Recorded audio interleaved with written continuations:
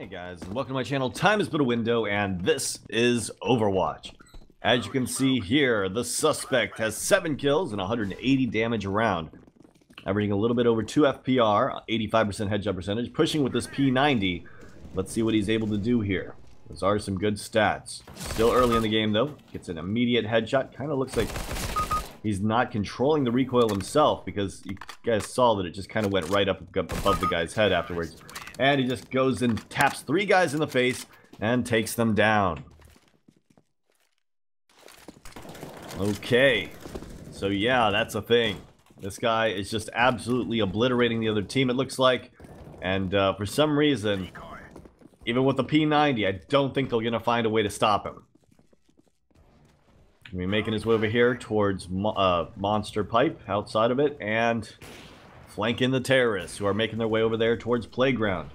Bulldog's able to take down Toucan. It looks like the suspect's about to fight someone here. He actually pre-fires, locks on his head, and he's able to take him down, locks onto the next guy, comes up. Okay, one more guy over here on the other side of the playground. Comes out, locks onto his face, locks onto the final guy, dinks him, and yeah, yeah. Well, they finally did kill him, but for some reason, I don't think it's going to be enough to win this game. Suspect is obviously aim locking, wall hacking. He's got both of those, definitely. I don't think we're going to see any anti-aim throughout the rest of this. And as far as I'm, I can tell, he's just going to run at them and just take them all down over and over again. Alright, so here he's flanking them. He knows one's over to the right, obviously. Uh, we did confirm the walls already. Making his way over here. Teammate's going to take out the guy over to the right, so he takes out two guys over to the left. One guy over here to the right peeks out, and the last guy's back over by Graffiti, and he's going to push him. There he goes. Headshot. What a surprise. Teammate's going to defuse the bomb, and yeah. Alright, so there are a couple ways I can go about the rest of this case. Uh, basically, I can fast forward it, and we can see if he's hopping around or turns on any anti-aim. Or uh, I could skip the rest of this, but then I wouldn't be able to see if he does other external assistance. So we're trying to look for that for VacNet. Or uh, I could watch it and cut it out of the video. But I probably won't remember to do that because I'm terrible when it comes to editing. So I'm going to speed things up.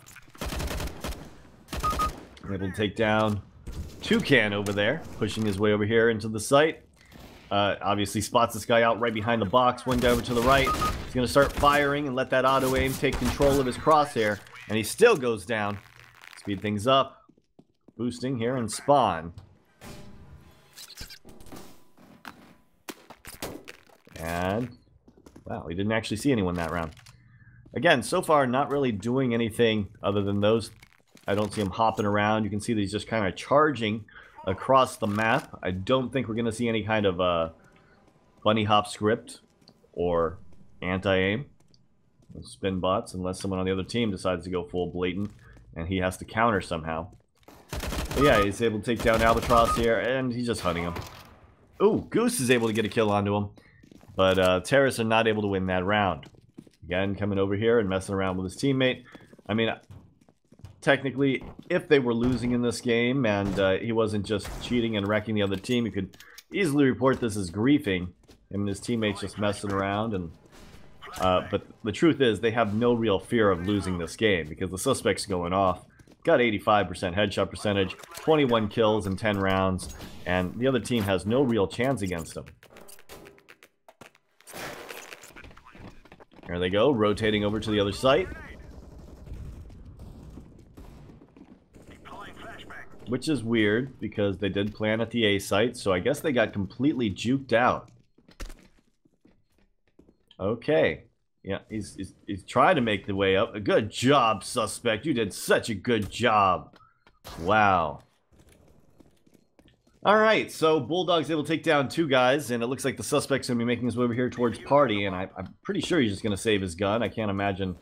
Uh, actually, Bulldog's going to get the defuse. Uh, I didn't realize he killed everyone. Damn, Bulldog. Wow. No one else was even there. It was just all him. Alright, guys. So we're on to the 11th round here. And the suspect's still just kind of doing what he's doing. Not I don't know if he doesn't know the map, he's just screwing around or what. But, uh... It is boring, whatever he's doing. Blanking here, making his way behind him. Will he have time? No, he's not going to have time to win this round. Does spot one out, tags him up a little bit, but that bomb's going to explode. He's going to lose the round, get a kill on the Goose. And Overwatch resolution time, major disruption, aim assistance, well, that's evident beyond reasonable doubt. Vision assistance, evident beyond reasonable doubt. And other external assistance, we watched the whole thing. We did not see him like spinning around at any point. I know I watched it in a very fast speed, but nevertheless, we didn't see anything. We saw a little bit of like technically griefing with his teammates, but they were all doing it together because they had no chance of losing. So, I mean, is it really technically griefing if you're not actually putting the round in danger or pissing off anyone? Uh, other external assistance, insufficient evidence there, and griefing, insufficient evidence there. Let's move on to the next case. Alright guys, here we are on case number two. The suspect has three kills, his teammate is bunny hopping around in front of him, so his teammate's definitely cheating. Suspect's gonna be following him as following him in as he takes down Woodpecker and makes his way towards site to plant the bomb for checkers. So Husky's able to take down Bell. The suspect's going to be making his way over here towards Checkers. Takes a shot. He did hear the footstep. Kind of followed him through the wall a little bit, but, you know, not quite uh, really that telling of it. He knows he's going to try to make his way to the left, most likely. Did follow him a little bit, but just not enough evidence for me to say he's blatantly walling at this point. Uh, suspect's going to throw a nade at Husky and take him down. Takes down Salmon coming from vent, but he heard that vent break. Now he's in a one or 2v1 situation. And the last guy's AFK, it looks like, in CT spawn. Suspect's to be making his way over here towards CT spawn. So he knows he's there. Ooh. The way that he peeked that and, like, juked off of it felt like he saw him through the wall there, didn't he? Um, him not him knowing that there's an AFK in their spawn might not be too strange in itself because he might just be AFK every round. As you can see, it looks like he's just sitting there AFK right now. Obviously, he does have Bell cheating on his team, so maybe the other team is giving up at this point. Uh, he's going to be making his way over here. He's going to smoke off CT spawn. A really good smoke. There's no gaps in that at all. You can see that on the left side here, it is completely covered. He's going to be making his way through and picking this guy over towards truck. He's able to take him down. There is still that guy in CT spawn, and yes, he knows he's there. He's going to be peeking into it. Misses the shot. Woodpecker's going to peek out, and it looks like Woodpecker's going to get the kill. All right, so the suspect here has seven kills. Mainly he's just being carried by uh, Bell, but it does look like he's walling. It really does feel like it. Even though he didn't pre-aim that guy through the wall, I think that he was just trying to go for a flick shot, even though he, I mean, I think he can see people through walls. He's just like, you know what, I'm going to hit a really cool flick shot since blah, blah, blah is going on. Either way, he uh, spots this guy over to the left, takes a shot, not quite able to connect with him. Actually, some really bad shots considering right there. I know he's going for the headshot, but you'd really think that it, he would be able to, like, get a little bit closer to that, maybe take his time with it, but it looks like he just kind of over-flicked it. Guy was just, like, full autoing it. He had plenty of time to get that crosshair onto him, and he just kind of whiffed it. Either way, checks towards heaven, spams bottom here, spams headshot, and pushes his way across over towards tree room. There's one guy over to the right. It feels like he knows he's there. Knows exactly where he is. Wall hacks 100% confirmed. Earlier, I, I was pretty sure of it, but, I mean, there is no disputing that at this point, is there?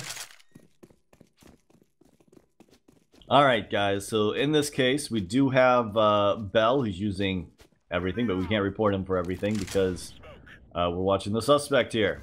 Suspect only seems to be using walls as far as I can tell. It doesn't look like he's using an aimbot. He has missed some pretty easy shots. Uh, and some difficult shots. Don't, I mean, don't get it wrong. He's not absolutely terrible when it comes to his aim, but, you know, he's definitely not pro either. Gonna be making his way over here towards A main, pushing his way through. Uh, he has that CZ75 and a P90 pushes his way in. He's actually going to use that CZ to try to take out the site. Let's see if it works out for him. Husky's on the other side of this box. He's looking at him right through the wall, looks at him through the smoke, pretends he doesn't know he's there for a second, and gets taken down by Husky.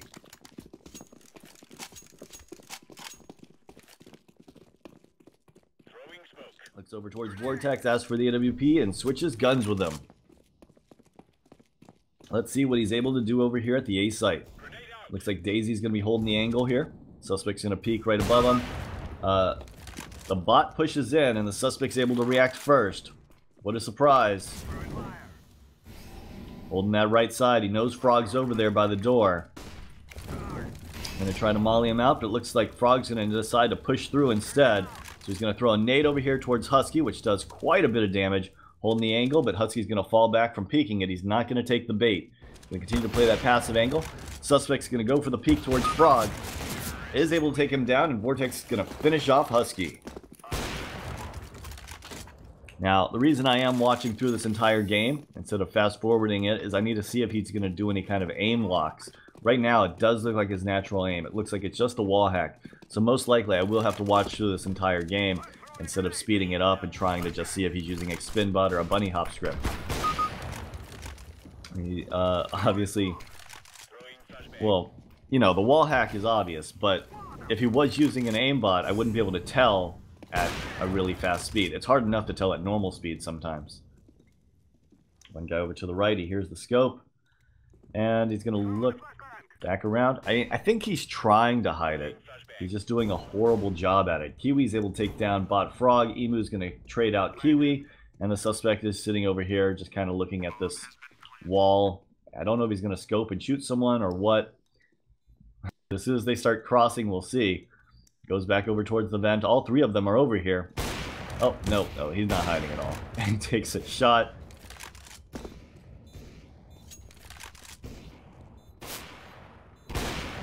Maybe someone on the other team is cheating. That guy that shot him might be, but it might have just been a spam too. Or maybe he expects someone on the other team is cheating, and that's why he decided to go more blatant than he was on the first rounds we were in. Either way, Overwatch resolution time. Let's go through this. Minor disruption, griefing, insufficient evidence. He wasn't doing any griefing and trying to lose the game. As for other external assistance, we didn't see any bunny hop scripts or uh, anti-aims or anything like that. Vision assistance, that one is evident beyond reasonable doubt. We could tell throughout most of the game that he was definitely using uh, some vision assistance, being able to easily trace people and follow people through walls. And of course, aim assistance, insufficient. I did not see any evidence showing that he was using any form of aim assistance that game. Anyways, guys, let's move on to the third case.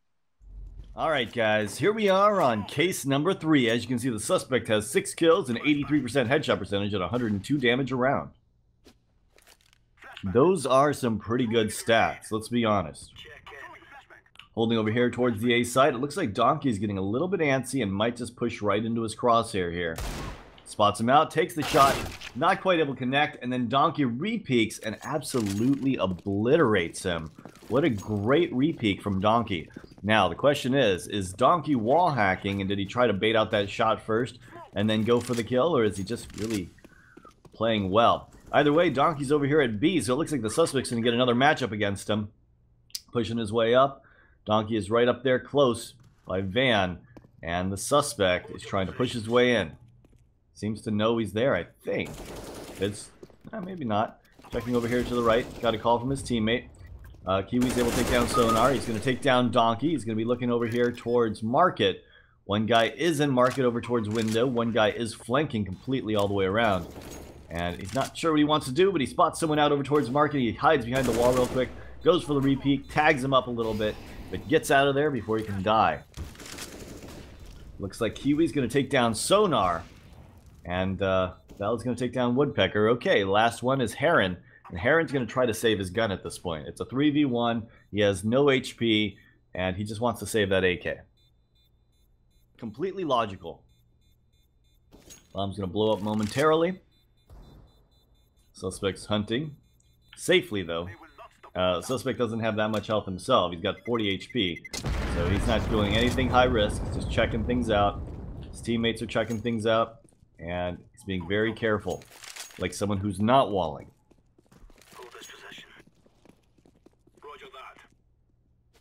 So right now, I don't actually know if he's walling.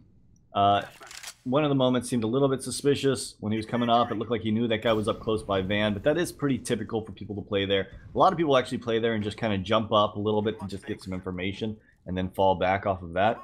But either way, the suspect's making his way over here towards the underpass. Let's see if he knows where anyone else is, but it looks like his teammates are going to take everyone out before he can even get to them. Last guy, Donkey, AFK, and CT Spawn. And his teammates are going to be pinching him. Going for the knife kill, I think. And yes, Kiwi is able to get the knife kill. Okay, so Donkey had that incredible pick on the suspect earlier. Now he seems to be AFK. Uh, looks like he just left the server. He might be coming back with cheats. We'll have to wait and see. Suspect seems to know a set smoke here. Gonna throw it and push his way up. Heron's gonna be pushing on him. He's able to take him down. He's gonna continue to push his way over here towards the stairs.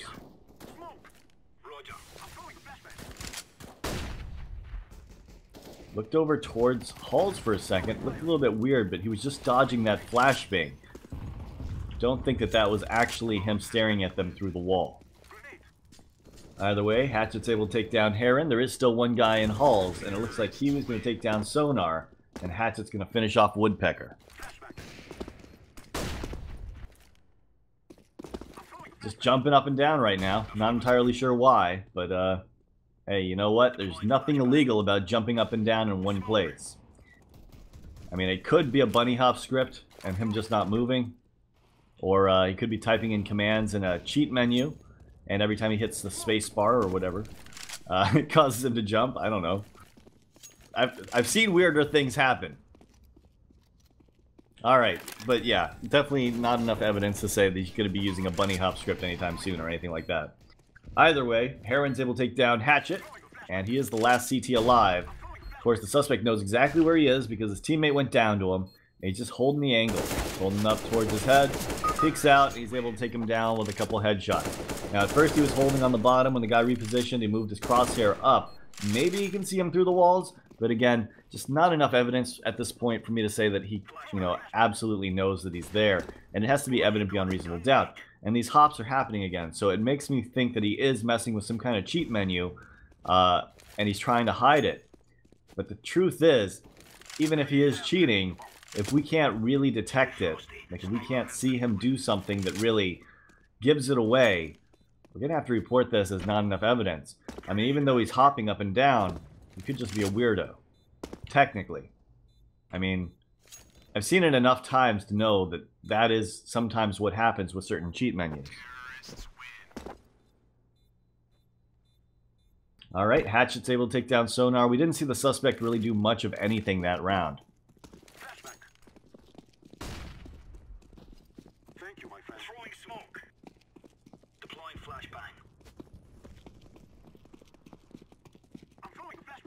Making his way over here towards the B site.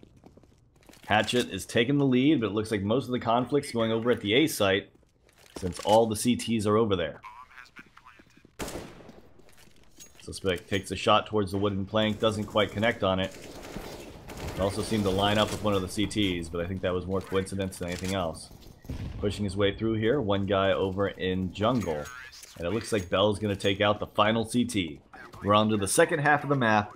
Suspect's got 9 kills, 66% headshot percentage. And he's going to be making his way towards middle, where there is one guy top mid pushing his way down. He heard the footsteps, peeks out, and he gets absolutely obliterated. Oh my, I would have liked to see a little bit more of that because, uh, honestly, guys, I feel like it looked like he had the signs of using a cheat menu. But let's go through it real quick. Minor disruption, griefing. I'm going to have to go with insufficient evidence. Here he wasn't griefing his teammates and trying to lose the game in any way, manner, or form. Uh, major disruption of other external assistance. We did see him hop in place a couple times, but that's not technically bunny hopping. I mean, we have to make sure he's like, you know, doing some kind of automated jumping. And uh, there it just kind of looked like he was pressing spacebar, even though it doesn't make sense that he would do that. I think he was trying to type something in or something, and it was causing him to jump. Uh, and you know that means they most likely had an external program. But then again, we can't see if he was typing anything and that was doing it. So, I mean, what am I supposed to report here? So I guess I have to go with insufficient evidence here. Uh, moving our way up to major disruption vision assistance. And I mean, there were a couple moments that seemed a little bit suspicious, like the guy over by the van. But really, uh, that and the guy that pushed A main, but he was just holding A main uh, from the very beginning of the round. And I don't know if the guy didn't, if he hadn't pushed, if he would have rotated off, or if he was getting ready to rotate off in the first place. Uh, either way, there just wasn't enough evidence for me to say that you know we can confirm vision assistance. Sadly, so insufficient evidence here. I mean, the problem, the reason I say sadly is because I feel like this guy had a cheat menu, and that is why he was doing the hops. But then again, feelings aren't facts.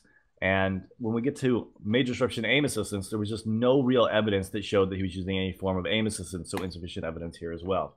Anyways, guys, I'd love to hear what you guys think in the comments down below. Did I just let a cheater get away? And what would you guys have reported in this instance? As always, hope you guys enjoyed this video and have a great day.